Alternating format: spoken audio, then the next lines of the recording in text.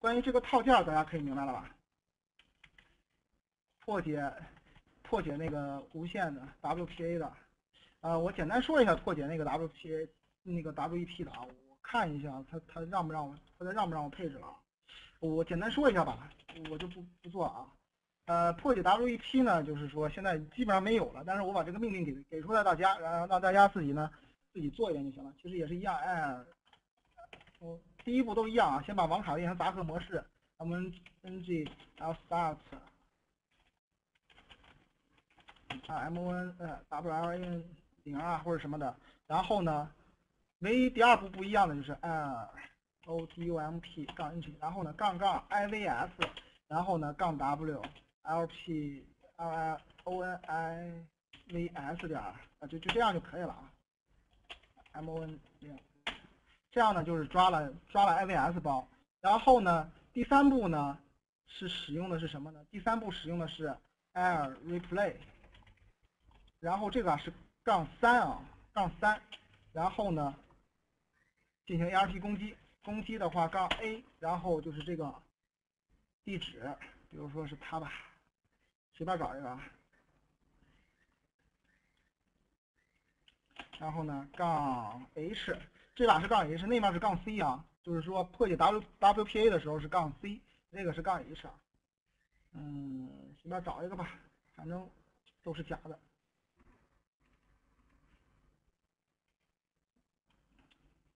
然后呢，m 零。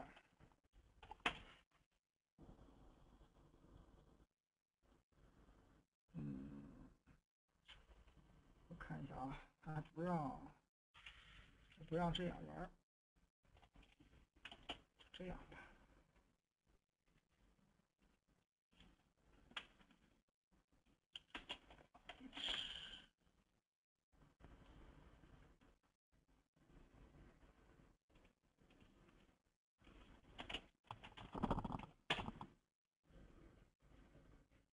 嗯嗯，嗯，杠 h。他可能是不让，他可能是不让玩这个东西啊，就是这样啊，就是这样。然后命令命令就这样，他可能是不是那什么的话，不让不让玩吧？不是 WPA 的话，他不是是 WPA 不是 WEP 的，是不让玩吗？啊，哦，那反正是。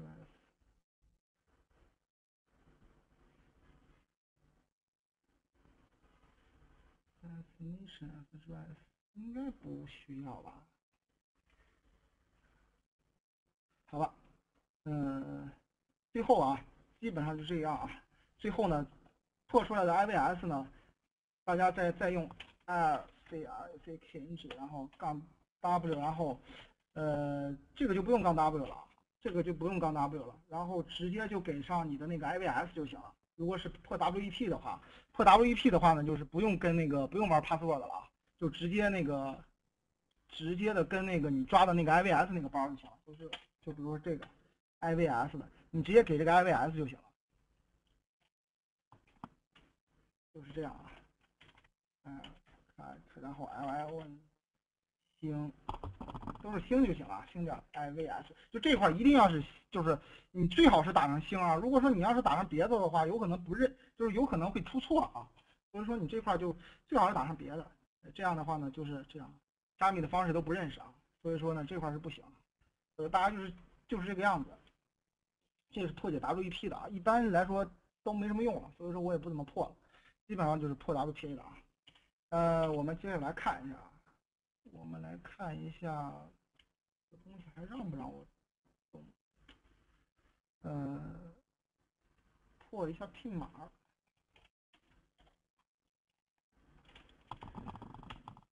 嗯，一点二五四，看一下它还让不让我破。今天这个路由器。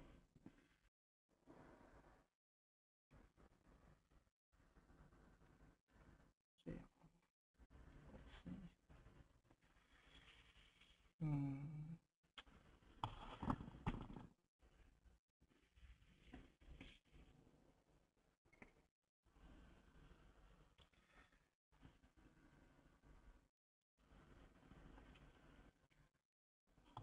就说呢，我说这个 pin 码，就是说大家可以看一下啊，这个 P 码就是说是是 WP WPS 的一个东西啊，什么 WiFi 保护的一个东西啊。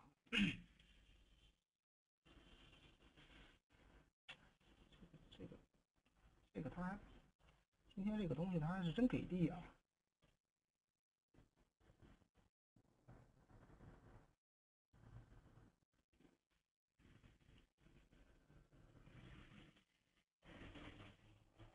算了，我随便找一个，啊，就是在这儿啊。一般的来说呢，大家的那个 WPA 的自己的路由器呢，都会有一个 PIN 码。这个 PIN 码是干嘛使的？就是说呢，就是说，就是非为了就是说什么呃，叫做 WiFi 那个 W Protect System 什么的啊，就是说类似一个那个，他们就研究的这个东西呢，就比较安全，就是说做做上去这个东西呢。会比较安全，然后呢，设置起来还是比较方便的。因为刚才这种啊，呃，我看刚才可能闪过去一下啊，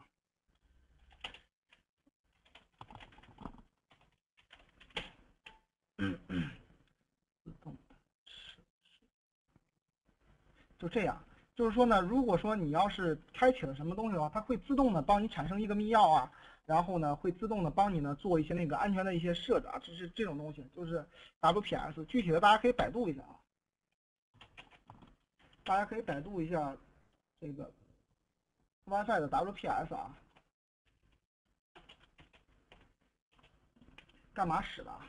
就是对 WiFi 它这个东西啊，它大家可以自己百度一下它是干嘛的。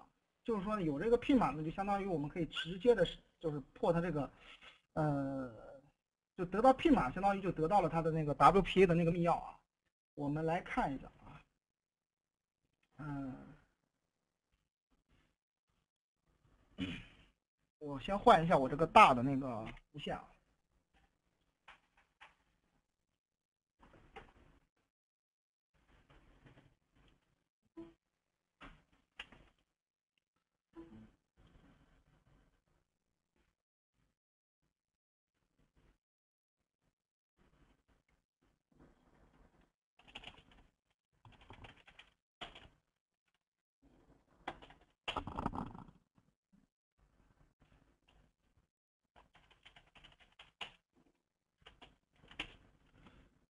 连上，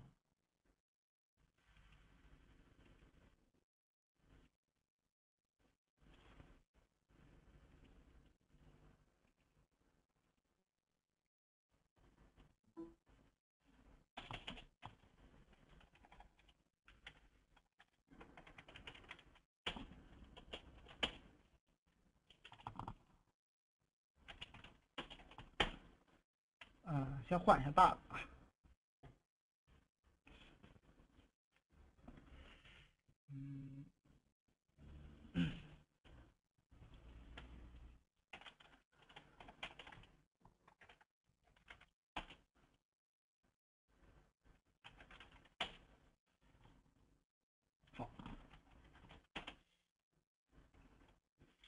这是一个看周围什么样的东西支持 WPA 的那个呃，支持那个呃 WPS 的设备啊，这个东西，然后呢，刚大写的 C 就可以了。大家可以看到的啊，有好多的基本上都可以啊。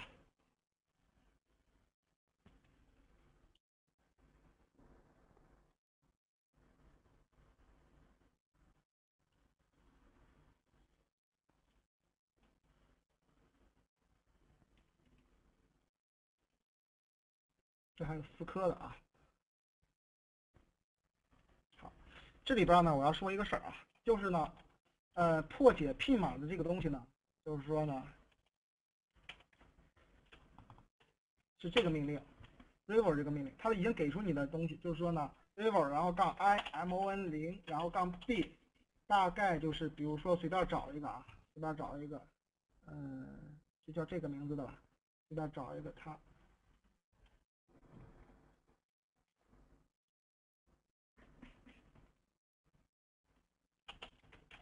然后呢，可以加一些参数啊，比如说加一个，我一般都喜欢使用杠 A 啊，杠 A 是自动的，然后呢，自动的选择最高级的那个呃最高级的那个选项。然后呢，一般我看一般有杠 X 的啊，有杠 X 的，然后是这个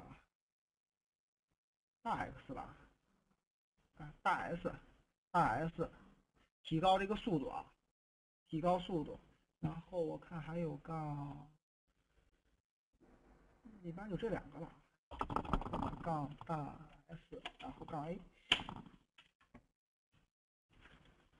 好这个时候呢，它就会把这个东西，把这个自己的自己的调到，你可以杠 C 啊，调到这它这个信道去。嗯，我们看一下，我选的这个东西是在第九信道。第九信道的话，它就会把自己关联到九信道。你也可以直接选到九。没找着。杠 C，杠 A，然后九信道没找着。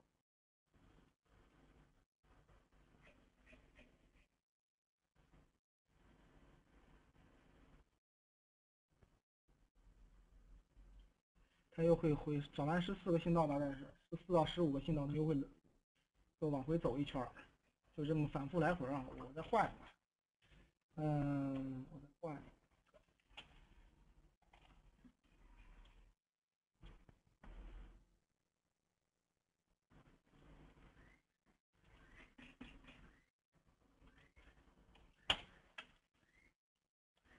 看看这个行不行啊？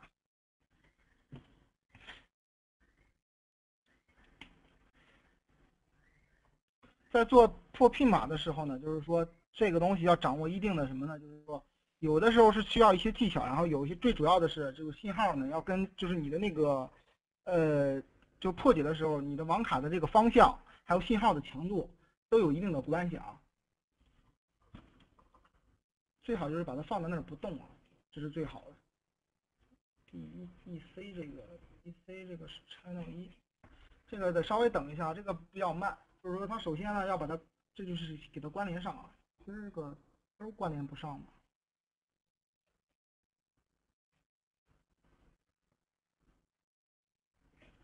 反正这个是比较慢的啊，这个是比较慢的。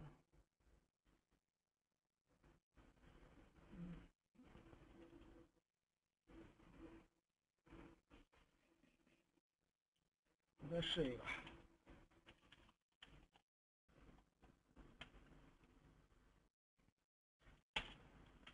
需要点耐心啊！我直接杠 C 六算了。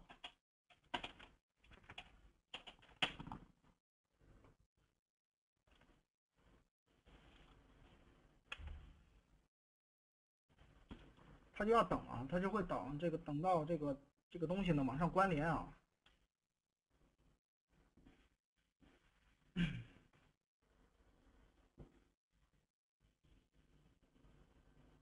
哎，我看看我这，我这个。我看我这个行不行？看一下我这个啊，我看我这个东西 P 码，这个我还真不知道我这个 P 码在哪。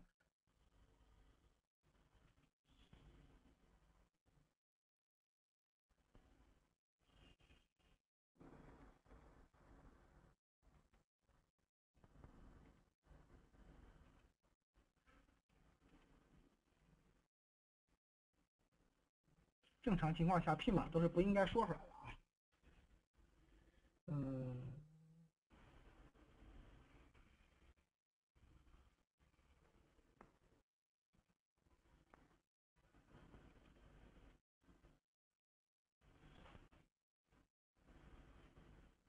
嗯，这个我还这个我还真没怎么找到过。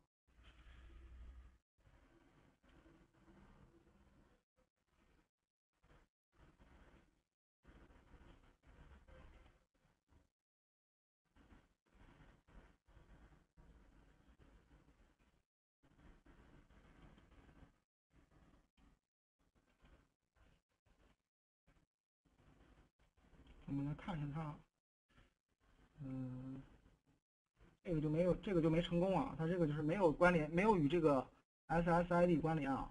它这个就是没有与 SSID 关联，然后它又会重新试，就一直到呢成功成功关联，然后开始破解啊。这个的话，我找一个找一个它试试，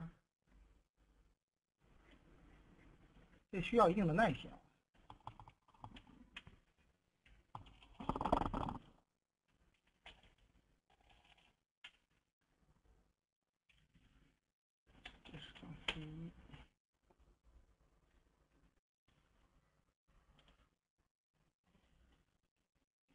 嗯，好了啊，就到这儿不演示了啊。